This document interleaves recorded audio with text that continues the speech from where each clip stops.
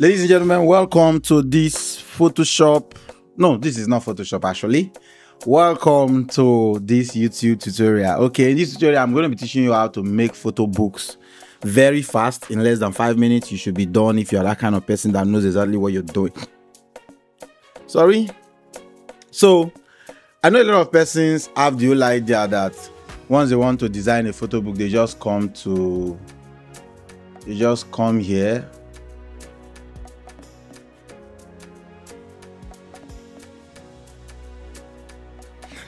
I know some people have the idea that whenever they want to design a photo book, it is nice if they just come here, create the size of their photo book, then just go pick the pictures. Pick the pictures from their gallery and just start lining them up. So they bring the pictures in like this, resize this one and place it, then resize the next one and place it. Mind if you like the color grade I used in this picture, you can actually DM is out for purchase. Then they go to the next one. If they want to make this one bigger they just make it bigger and fit it in like this. Then if it looks like it's too big they start thinking of how to crop till you know they have to do it one after the other. Probably just pick the areas that they want which is around here then crop you know. Then if it seems like they want to still bring back a little of this part they just cancel the chain click on the mask Ctrl T then you can now drag it around and now see the area that you want to keep and the area you don't want to keep.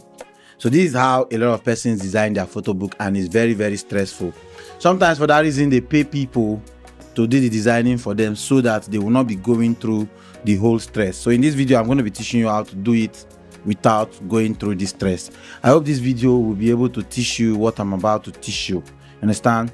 So you need this app called Smart Album. The name of the app is Smart Album. If you want to get the app, you just need to follow the link on my description box, follow the instruction there, and get it with some percentage off. Let me not just be talking, let me just show you. Um, go to my channel I really need you to see this. If not, I will be skipping Destroy this part. nose. Remember, So I'll click on more. destroy the nose. Remember. Sorry. So this is it. Click on more. Come down. And um, this is it here. So you have to follow the link to get 15% off. Yes. To buy Smart Album with the code GEETEE01 to get 15% off. When you buy it, it's a one year subscription. So when I when you get when you install it and you get to this first page, you want to create a new project. Let's create an album. So if you want to create an album, once you click that, you come to this page. After here, just go to customize. Customize will allow you to put whatever you want to put in. So for me, I will say 24 by 12. You understand? So I will leave everything the way it is. Maybe just come to next. Then my border i like giving a little border white border. So for that reason it will always be like this. These are my settings i normally use. So the next thing i want to do is start. When i say start it will bring me to a place where a folder i can save it into. So maybe i'll just click here then create a new folder call it smart album sorry album. So after i do that i can now click on the folder then save. So whatever i'm doing now will go into that folder and it will be saved as just the default name. That's because i did not save it with a particular name. So i could just go back save as then go into that same folder save the project as test. So now this is the size i created. This is the the size I created for the the photo book. So I am going to let me just um, recommend it for a photographer. Let me just say yes. And this is not supposed to be showing me. Submit it to not take me to the website. Okay, thank you. They accepted the feedback just like that. So I am going to import pictures. There are different ways to import images. You can click here. It will take you to folder where the picture is, blah blah blah. But I don't normally use that. So I'm going to be teaching you the way I would normally do it. So I will just come here, click on all the pictures, like drag all the picture I want to use. If this is a folder and I have all the pictures in this folder, then I will now drag them. If I'm dragging them here, I am going to be seeing it load. I'm going to be showing you two different ways to drag picture in. So it's going to load all the picture gradually into this folder. And the amazing thing is, whatever picture you have used, it's going to show you that you have used this picture unless you decide to use it twice. So that's finished loading. So if I click one, two, three, four, five, six, and drag it here. Once I drag it, those pictures will be showing me gray. They are grayish now, as you can see. They are all gray.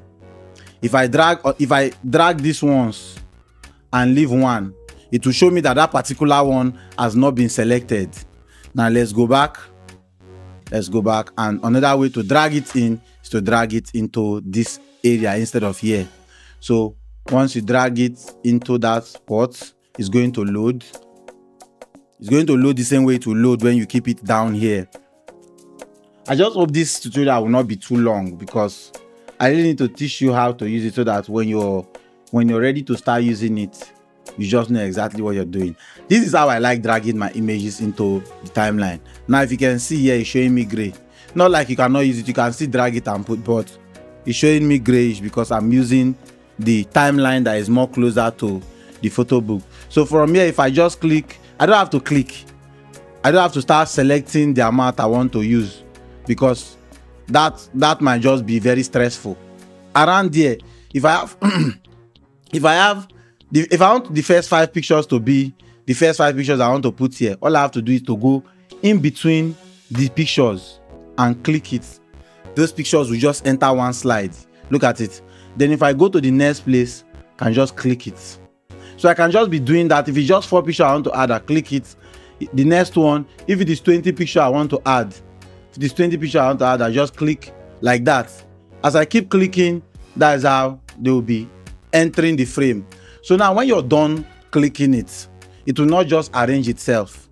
Sometimes it arranges itself, but sometimes it doesn't. I don't bother use it, uh, use this part because I go to um, um, I go to Photoshop to design my cover, so I can do some more serious effect. So from here, I can just be clicking here. Once you click here like this, to be showing you templates that have been designed already. Now I will show you something that Photoshop is a stress in Photoshop. Now let me say I like the way this design is. I'll just click it. Once I click it, let me just go back first of all. Now, if you look, once the design is like this, you can even come this way and be running your template on just this side. So the two side does not look the same. So let me say I like it like you can do the same to this side too. Let me say I like it like this. I could just double click. Once you double click, it will show like this. I don't like this extra border showing. All I have to do is just select every single one of them, push it to one end and drag it. Everything is settled. Now, if I want to just move one of the picture, it crops itself. So for example, this particular picture, I want to make this one bigger or just drag it like this. It doesn't uh, uh, distort the picture in any way. So for this particular, maybe I just want this one to be small. I'll just drag it down. It will crop itself. It will not distort the picture. Then maybe I want this one to be bigger. I'll just bring this one and make it bigger. I hope you just understand what I just did now. Let me just go back and do another one for you to see.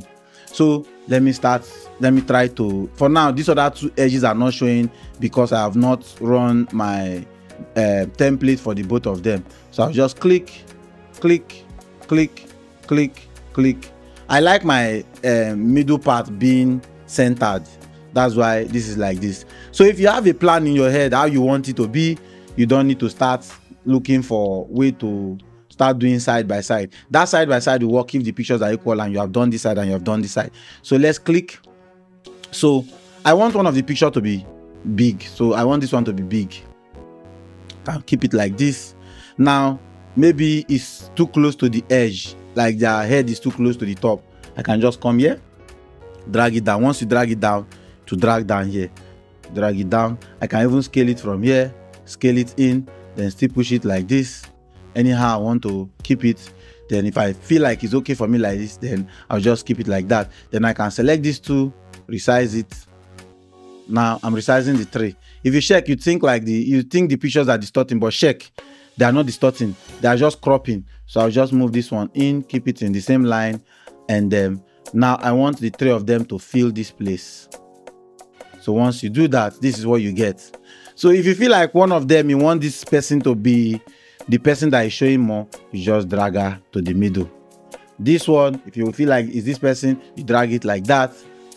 Drag it like that. But if you feel like you want this one to be small you can take it back. Once it gets to the original size if the edges are equal the way it was when you bring in the picture it will show everybody. So i just take this one resize it put it under and make it bolder. Make this one too bolder. Any of this uh, edge you hold will not distort the picture. Then i'll just bring it in and fix it like this. Now you can see what i've done for this design. And my border is still there. If this one is too uh, close to this other picture you can go and click it and push it. Once you push it once you just push it like that it snaps. There is a snap. I don't know how the effect works but it's snap. Then let's go to the next one. Let's try again try to select a template that we like. Okay. Uh no let me go back. Okay i think i like this. But now i like this but this particular picture i want to frame it. I don't want this woman to show. I don't i don't have to start cropping i just have to push it in like this. These two people will show. Then i can now resize it to fill up the frame. I can scale it so that i'll not have those other people in the frame. Then once i'm done with it okay i want this picture to be black and white. I don't want it to be colored. Just right click it edit in photoshop this will take me to photoshop. Then i'll just have to add the black and white adjustment. Then merge it together. Control s to save it. Once you save it like that and go back to smart album it will load and turn this picture to black and white. So you just give it some time. Look at it here. It has turned to black and white. So you can just go back. The picture is already black and white. So there are a lot you can do here so if you if you imagine the time that we use and finish this photo book so let me just let me just undo everything because i want to show you how um how a lot can be done in just a short time. Uh okay. Let me redo. Let me just bring in those pictures again. I want to show you how i can move through each slide in less than in less than a few minutes. Then push push. Push.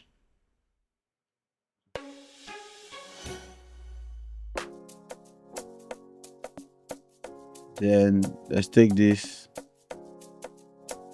Take this. Take this. And take this.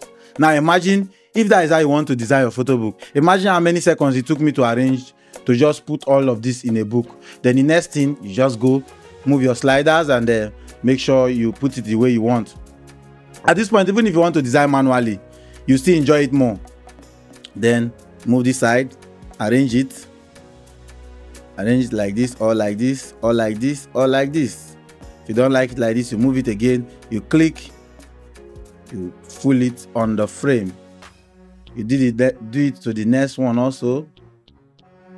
Make sure it's filling the frame you can still go back. Even after you've done this you can still go back and run through your whatever you call it your shuffle. You can shuffle through the template. So you can do this over and over. And if you feel like you want to still add from here you want to add picture that you have added from here you can still click it and add it. It will be there.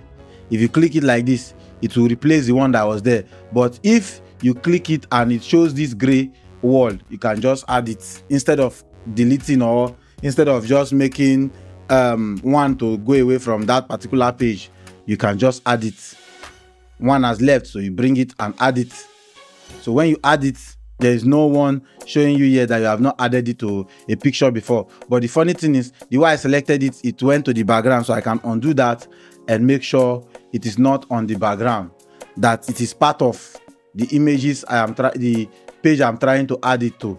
So i'm adding it to that page then i can now go through the slide on that page go through it. Um yes i think this is nice. Then i'll just make sure. Some persons like their photo book like this not fooling the frame. That's why this is their default way of arranging it. So you can just drag every single one of them to the edge and just um, put it like this.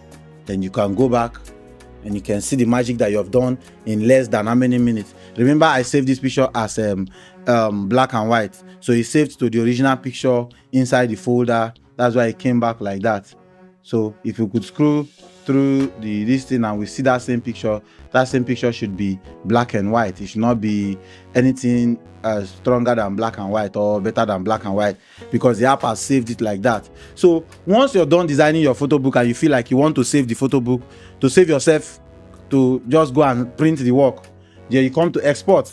Once you come to export you have a lot of options. You can save to cloud. You can cloud proof it. There are a lot of options here but this is the save option. This option that is showing you print. So check is jpeg. If you want to change the jpeg quality you come and change it. Here it's already showing me 100 percent. I don't know any other thing i want to add. There are a lot of options how to change your interface interaction and whatever performance but there is no need for all of that. We just want to change image quality. So everything is looking the way i would want it to be. You can go higher. It's your choice. But recommended is what i use. So i just click ok. Then from here if i just want to uh, save a particular a, pa a particular uh, slide i have about nine spread uh, spreadsheet here nine spreadsheet here. So i could just click here and say i want to save. Let's cancel out first. Let's look for number let's look for number here it's showing me number one number two. Let's try to save number four alone.